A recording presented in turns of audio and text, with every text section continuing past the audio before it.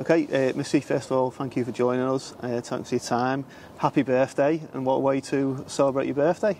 Thank you. Um, I know it's the best birthday present that I've got, getting promoted. And, you know, it capped a nice season for obviously Liverpool, but also for yourself. Yeah, I think we've worked hard week in, week out, and it's only what we deserve as a team. We've put in the effort, and it showed. We've got results, and that's all we needed to do. Tell us about that feeling of scoring that goal, you know, at Bristol and the thoughts afterwards, what were going through your head. I, was on the bench when I, and I was speaking to my mate Jade on the side and I said if I come on I'm going to score. And she said if you do you've got to do a knee slide. I so I did.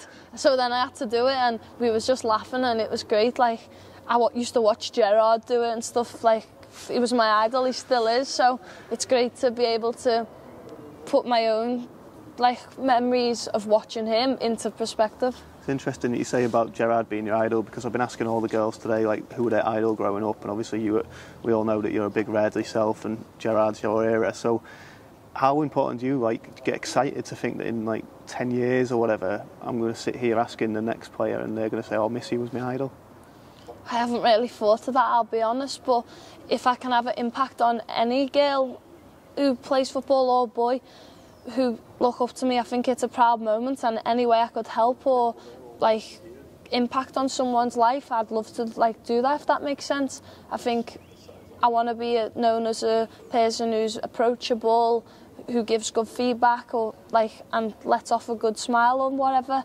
I want to be a person people will remember as the player that I was. Maybe in 10, 15 years, I think you want to have a good career, don't you? But if I keep working hard and playing my football and doing stuff off the pitch, good, I think nothing's stopping me from achieving that. Well, this year, this season's been like a breakout year for yourself, hasn't it? You know, uh, youngest captain of Liverpool, like the goals that you've scored, international call-ups. You know, how just talk to us about that, and also like how it feels for your family, for for you know daughter to be playing for Liverpool. And... I think they're proud of me. I think they see me every day, don't they? I'll still live at home and they see the ups, they see the downs and I think when they're seeing all these highs, getting called up for England, youngest Liverpool women's captain, winning promotion, I think they're, they're like, wow, and they remind me of it when sometimes things might not be going well if you're not playing or whatever. No one's happy when they're not playing and it, I've been lucky enough to play the majority of the minutes this season and but you, and I don't take it for granted. You want to play as many minutes as possible. You want to stay fit. You don't want to be injured. And I think that's the proud aspect. What they can probably see where they don't. It's not always smiley, smiley football. Sometimes you might have a little few bad days or whatever, and they're looking forward to the weekend because they know I'll have a smile on my face. It's interesting you say that because a lot of players, it's always like, oh yeah, my family keep me grounded. They stop me from being big-headed. But you're almost like from the other perspective, where like when you're having it down, they're like, no, you're still doing good and keeping your spirits up. But on the, the keep me grounded, I'll tell you that. Like I can't remember the last time a family member said, say if I have a good game or a score, the first thing they say is, but you've done this, but you've done that. It, there's always the negatives, but I like that. I think if anyone, you listen to your family the most and you trust your family the most, what they're saying is you take it on board, whether you might pretend you're not listening, you're always taking in what your family say to you. And I think most people are probably the same, and I respect that. I think they've helped me get to where I am now, and I'll always be privileged. We've seen also that Trent Alexander-Arnold came to watch you for the game that you were captain at. Um, has he given you advice as well? You know, how much do you speak to players like that? Have you got any connections there?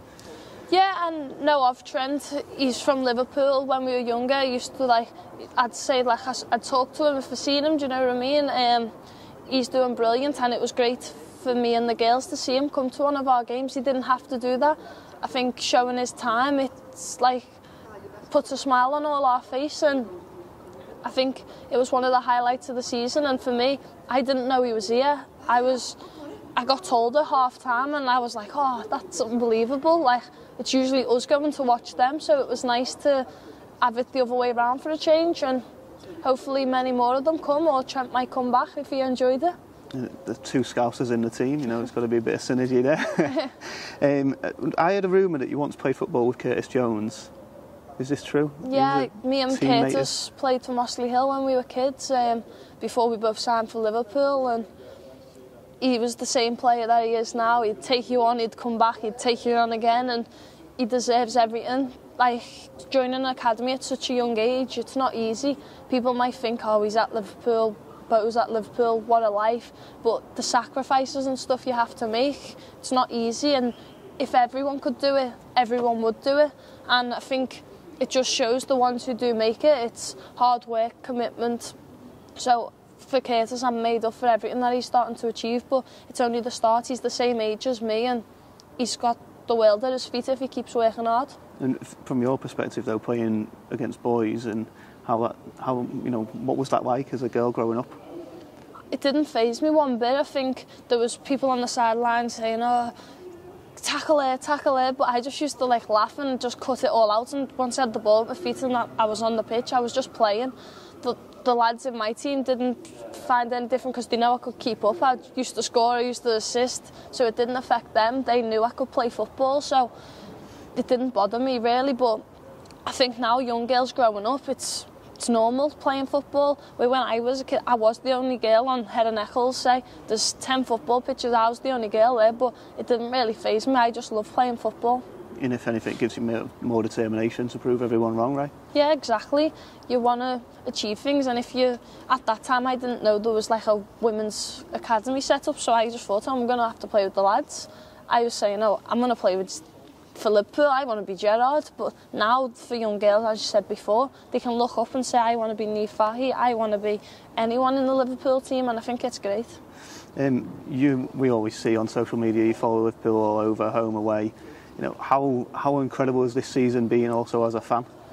It's been unbelievable, but it's affecting my holidays. We finish early May, but we're getting to finals. We could be in the Champions League final, so looks like I'm going to be staying home until Liverpool men's season's finished because I can't be missing them. Because as I said, I love the matches, so it's unbelievable. Everything that they're achieving, like it's special. My dad's even said to me, "This team's special. Enjoy it because not." Things don't last forever, do they? So I'm enjoying every moment watching them. Like last night, 4 0 against United five years ago, you wouldn't think Liverpool would play the United off the park like they did last night, and it's great. When you're there and you know you're in the stands at Anfield watching the men's first team, do you watch it like purely as a fan, or is there a little bit of you like as a player watching it from a tactical point of view and thinking, oh, you know, that's that's going on there, or how he's playing?